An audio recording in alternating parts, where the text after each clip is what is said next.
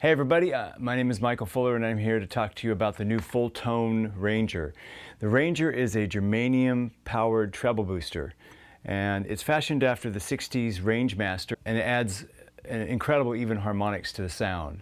There are two models of the Ranger. There's the OC75 version which is a limited edition using uh, NOS 60s Mullard OC75 transistors and there's the one I'm demoing today which is the Custom Shop Ranger.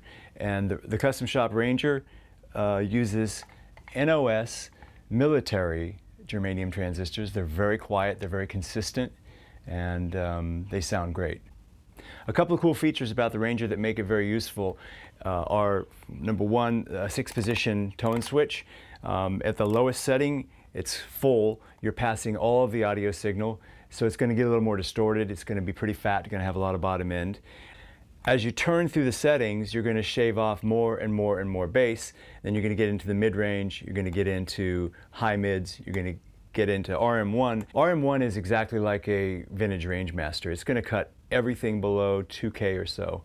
Now RM2 is a lot like a later version Rangemasters. It cuts off everything below 2.5K or so. The last position is one I added. It's really cutting off everything below probably 3K and it's sounds kind of like a telephone, but it, again, really useful with certain amps. The way this helps get a great distorted amp sound is by cutting that bass that's going to hit the amp and make it muddy. And that's a cool thing for both live and for studio. Um, I've recently discovered it. I've, I've had the effect. I've had a vintage Rangemaster for a long time. I think what really got me into using this was the fact that you could just gently roll off a little bit of bass, a little more, you know, enhance the mids, enhance the upper mids. So one of the cool things about the Ranger is that you can power it with a standard negative to center adapter, even though it's a PNP, which is positive to ground. I devised a way to allow you to use a regular power supply with it, and that's kind of cool. Feature-wise, it's a fairly simple pedal. You have the six-position tone switch, and you have an on-off true bypass. You have a level to set the output volume, and that's it. Uh, well, inside there is a trimmer and you can do anything you want with that. Just adjust it where it sounds good. We set it for 4.5 volts from the factory using a, a 9 volt power supply. If you pop a, a, fresh battery in there, sometimes batteries are up to 10 volts, so it's going to go a little higher than that.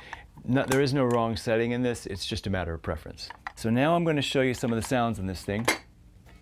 And then later on, you're going to hear a tune of mine called Tell Me, which was sung by Dave Robinette. Dave and I started this song in 2003 and I could never get a right guitar sound for it. I was kind of going for like a Queen-inspired sound. And then when the Ranger came out and I discovered the second setting, which is low mids, I immediately fell in love with it, hooked it up to a Vox, um, and the, the, amp I'm using is a 64 Vox AC15 with two 12s. They're Fane speakers, they're stock speakers. And then um, I'm using this Telecaster, which is a parts Telecaster, has a real tele pickup in it from the 60s, has a 50 Strat pickup, Strat neck.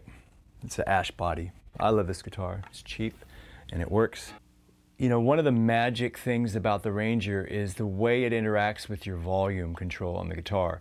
I've seen a lot of demos, guys just crank up their guitar and it sounds cool, it's like a big old fuzz, and this will sound the same way when you crank it up, but there are a thousand other sounds when you turn down your guitar's volume. I'm gonna show you. So we're gonna start off on full mode, that's allowing all the signal through.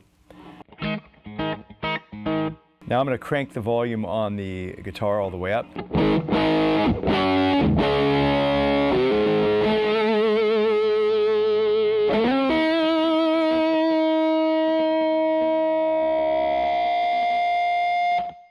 All right, that's kind of wild.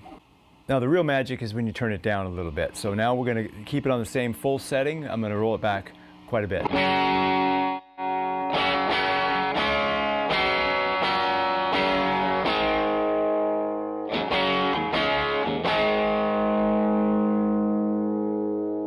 Up a little bit. Roll it up a little more. It's on like six. Roll it up a little more. It's on seven. Roll it up a little more. It's like eight, which is kind of a sweet spot for a single coil pickup. And that's the setting I used for this tune that I'm tracking. You'll hear later.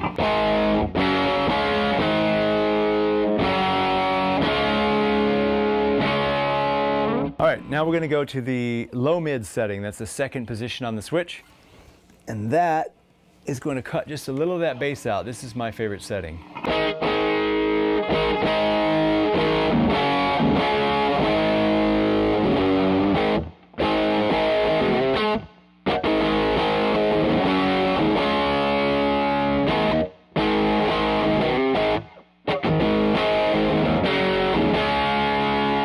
I like that. That's nice. All right, now we're going to cut off a little more bass, so you really have a pure mid-range booster, plus of course the highs, they're still left intact. The way a high-pass filter works is the signal comes in and it's going to cut off everything below a, a certain point. So it's going to pass the highs, right? High pass. So in this case, we're cutting probably everything below 1K or so.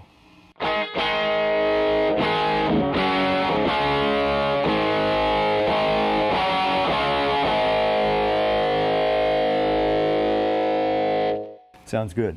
All right, let's go to the RM1. That's Rangemaster 1. This would be the traditional Rangemaster sound used by, supposedly by Brian May. I think one of the cool things about Jimmy Page, I'm not saying that he used these, I have no idea, but he knew how to place the instruments in the studio in, in a certain tonal spectrum. And whether he used uh, something like this or EQ afterwards, it's hard to tell sometimes. I'm able to get sounds with the Ranger for recording that really pop out of the mix and in don't get in the way of the bass. Um, this is something new for me. I've, I've, always just plodded along with a huge Marshall and too much bass and, and you know big muddy sound. So I'm kind of this is kind of cool for me because it's a new thing, and I'm I, I find myself using this on and finishing a lot of songs that I was working on.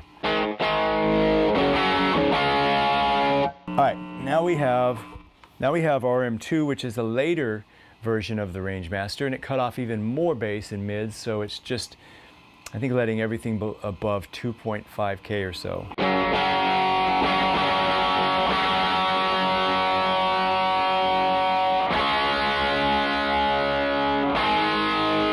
Let's go to the next one, which is uh, highest, it's called.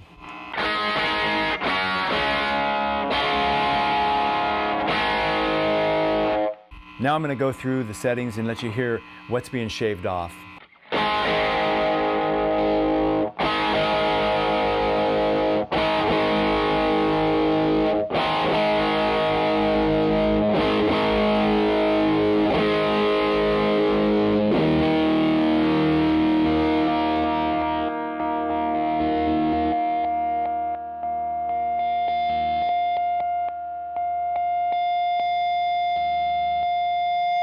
There you have it, the long and short on the Fulltone Ranger. My name is Michael Fuller. Thanks for stopping by.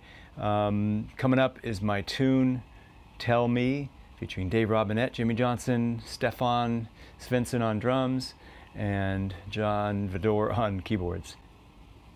All right, there's the long and short on the Fulltone Custom Shop Ranger. You can buy yours at fulltone.com or from any Fulltone authorized dealer. Thanks for stopping by, and my tune is coming up if you want to hear that. Thanks.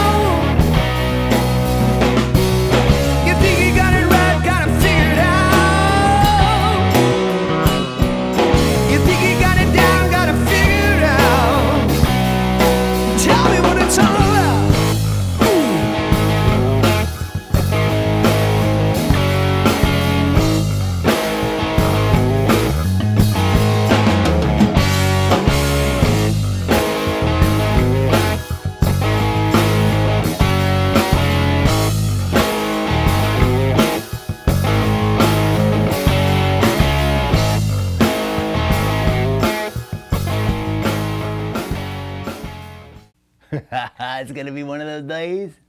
Hi everybody, my name is Keith Urban. Hi everybody, I'm Keith Urban's older brother. Hi everybody, I'm Keith Urban's older and taller brother. Please allow me to introduce myself. I'm a man of wealth. Well, not really, I make pedals. You can use any minor, you can use any uh, you can use any standard 9 volt trans. You can use any standard 9 volt power. You can you can use any 9 volt power supply with a negative to center, um, and it's still. I don't know. That ain't gonna make it to tape. I tell you that much.